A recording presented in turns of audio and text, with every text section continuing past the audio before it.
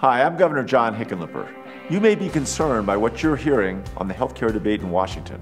What's important to know is that you can still get help with your health insurance next year through Connect for Health Colorado.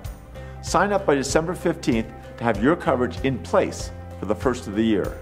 Coloradans who qualify are saving literally hundreds of dollars a month on their health insurance.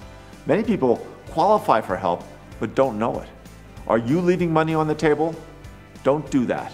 It's easy to check. Go to connectforhealthco.com to see what you could save. Having health insurance is an important part of protecting your health and your financial future.